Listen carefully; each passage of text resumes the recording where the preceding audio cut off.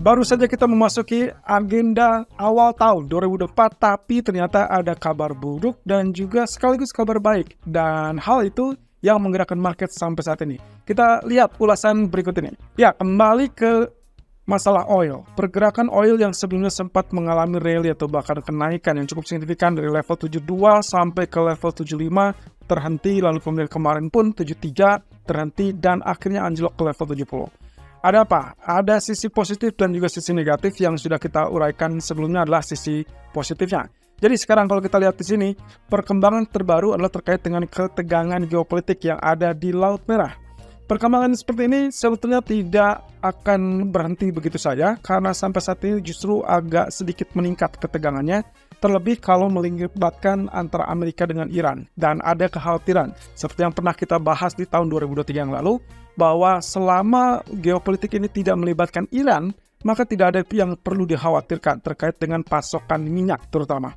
Nah, cuman masalahnya perkembangan terbaru yang terjadi tadi malam adalah kemungkinan potensinya Iran pun mulai dilibatkan atau mulai terlibat setidaknya. Nah, cuman masalahnya kenapa harga minyaknya malah anjlok? Bukannya naik, bukannya melesat, malah dia turun. Oke, untuk sementara waktu, Keterlibatan Iran sepertinya masih tinggal menunggu waktu saja, tapi ada data yang penting lagi, yaitu data PMI Manufacturer dari Eropa, Inggris, ataupun bahkan Amerika tadi malam dirilis dengan angka yang relatif turun. Artinya, ada pelemahan di situ, manufaktur yang berarti mengakibatkan potensinya gambaran terkait dengan pertumbuhan ekonomi yang melambat. Pertumbuhan ekonomi yang melambat itu mensinyalkan atau mengindikasikan adanya pelemahan dari sisi permintaan. Dan itulah yang membuat kenapa harga minyak kembali merosot ke level 70 dolar. Tapi apakah ini akan menjadi kesempatan yang kita tunggu-tunggu? Karena mengingat beberapa satu minggu yang lalu atau mungkin beberapa hari terakhir setidaknya kita sempat membahas tentang uh, potensi koreksi yang kita butuhkan atas di 70 atau 69 dan kaitannya dengan kalau kita hitung dari uh, Elliott Wave berarti wave B atau correction sebelum akhirnya dia menggapai level 80-an. Nah, kalau seperti itu, sebetulnya ini adalah area yang kita nantikan dan sudah muncul. Nah, tapi apakah ini menjadi momentum yang bagus apa tidak? Kita lihat, ada kabar bagus dari China yaitu terkait dengan lonjakan perjalanan wisata. Ya, itu adalah gejolak yang sempat terjadi di awal pembukaan hari Selasa kemarin. Nah, tapi kabar terbaru terkait dengan kondisi ataupun ya kita sebutnya dengan kuota impor yang lebih menarik lagi karena kuota impor mencerminkan tingkat permintaan yang sangat serius dari negara China.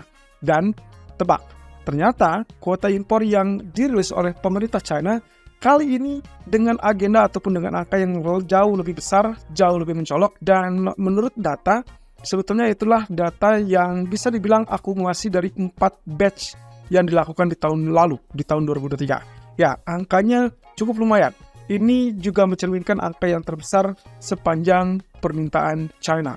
Dan ya, itu adalah positif untuk harga minyak. Jadi, kalau misalnya kita bicara tentang prospek yang cerah dari China untuk harga minyak, sebetulnya kita sudah mendapatkannya. Ada sinyal di situ sekitar 179 juta uh, kuota produksi yang ataupun kuota impor yang diinginkan oleh China. Dan angka ini sebetulnya terjadi peningkatan sekitar 60% dari angka yang dijadikan laporan di tahun 2003. Dan kejutannya adalah kalau misalnya kita lihat dengan agenda batch 1, batch 2, batch 3, batch 4, demikian yang dilakukan oleh China, kita anggap sebagai kuartal 1, kuartal 2, sampai kuartal 4, nah, sebetulnya dengan angka yang sekarang untuk tahun 2024, mereka merilis angka 4 kali atau 4 batch hanya dirilis untuk satu batch. Artinya di kuartal pertama tahun 2024 kemungkinan impor yang akan dilakukan oleh pemerintah China akan sangat besar. Dan ini menandakan adanya tingkatan permintaan yang justru melonjak lebih tinggi. Harusnya ini adalah momentum yang tepat dan mengingat batch 1 itu kita gambarkan sebagai kuartal pertama, maka kemungkinan peningkatan tersebut tinggal menunggu waktu saja.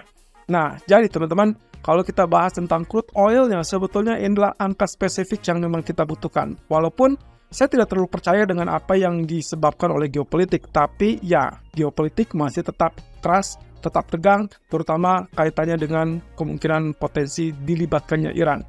Jadi kalau misalnya seperti ini ada gangguan pasokan dan itu akan membuat supply yang relatif berkurang sementara tingkat permintaan dari China yang akan tumbuh, maka koordinasi semuanya kita akan membuat harga minyak melambung kembali.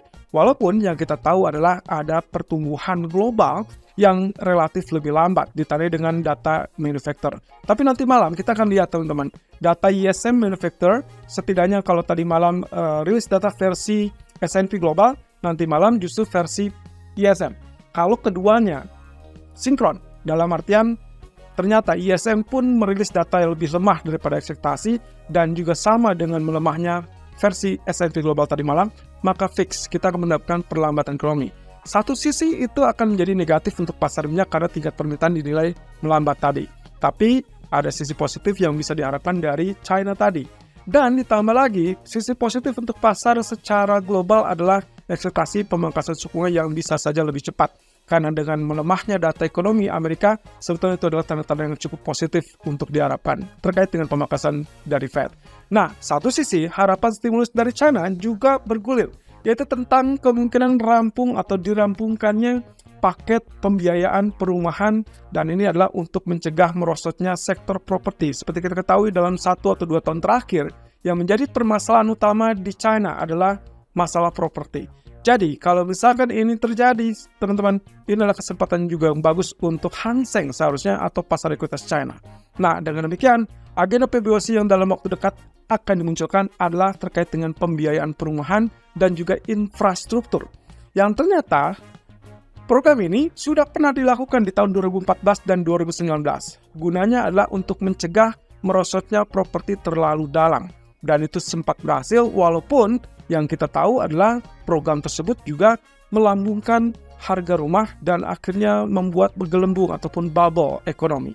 Nah, apakah itu yang akan dilakukan? Ya, ini setidaknya tanda-tanda yang cukup bagus untuk ekonomi, mengingat pernyataan dari Presiden Xi Jinping dua hari yang lalu mengatakan bahwa China, ya, diakui sedang melambat ekonominya.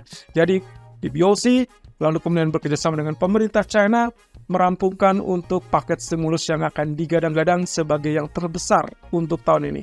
Jadi kesempatan ini harusnya sesuai dengan apa yang kita harapkan dan juga kita ulas terkait dengan pasar ekuitas Hong Kong di dalam buletin kuartal pertama 2024. Silahkan cek di aplikasi Agrodana. Nah, untuk ekonomi calendar untuk hari ini kita akan fokus dengan tujuan utama kita adalah ISM Manufacturing PMI. Walaupun George Job Openings juga sama pentingnya, tapi kita lihat terlebih dulu.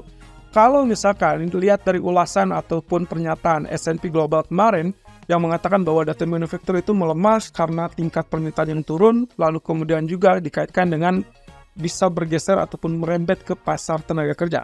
Artinya ada kemungkinan pasar tenaga kerjanya melonggar. Jadi, mau tidak mau kita lihat data versi ISM malam ini. Kalau ternyata datanya juga relatif lebih rendah dari ekspektasi, of course, kita akan dapatkan pelonggaran di sisi tenaga kerja dan itu adalah hal yang bagus yang memang dinantikan oleh Fed karena mereka menginginkan pasar tenaga kerja yang longgar, inflasi yang turun sehingga bisa segera melanjutkan dengan program pelonggaran kebijakan moneter yaitu pemangkasan suku bunga tentunya. Nah, alhasil kalau misalkan Anda ingin melihat emas kembali bangkit ataupun kembali naik, termasuk juga pasar saham kembali naik, maka diharapkan adalah terkait dengan ekspektasi pemangkasan suku bunga itu semakin nyata. Cuman di sini, kemungkinan respon yang paling cepat adalah emas yang akan bergerak naik ketimbang saham duluan. Karena pasar saham secara tidak langsung kalau data ekonominya menunjukkan perlambatan ekonomi, maka itu adalah negatif secara mendasar untuk pasar saham. Tapi kalau kita korelasikan lagi dengan apa yang akan dilakukan oleh Fed berikutnya, yaitu terkait dengan pemangkasan suku bunga, maka kita bisa pastikan saham siap-siap rebound kembali setelah dia ditekan.